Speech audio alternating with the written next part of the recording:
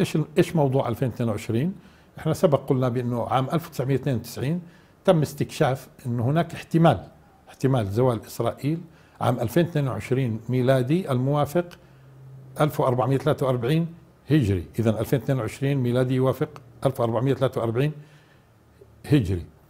هذا الكلام من سنة 1992 إلى اليوم هناك نتائج مستمرة ونتائج جديدة. ومن الأمور الجديدة وهي جديدة عليك يا عماد مش هيك؟ هذه الآية. هذه الآية. آه، وإحنا كنا مدخرين هذه الآية وغيرها لرمضان وإن شاء الله في رمضان لما بتوقف درس التفسير آه، نعطي مزيد من مسائل العدد.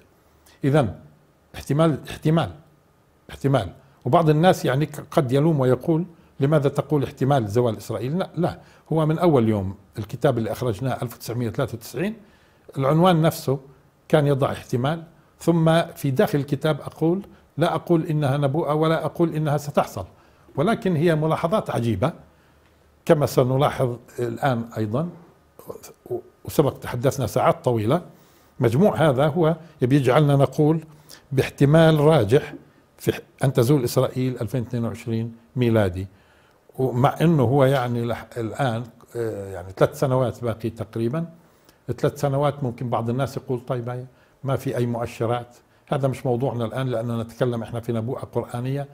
ليست 100% لأنه ليست لفظ أو عفوا كلام واضح وإنما هو ملاحظات عددية.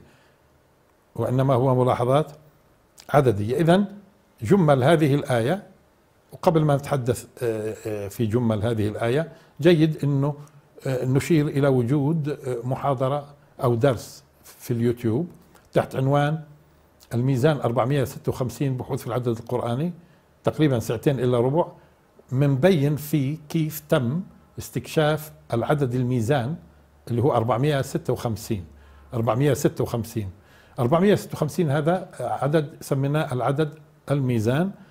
كما قلنا يتم تبيين كيف تم استكشافه ساعتين إلى ربع موجودات في اليوتيوب.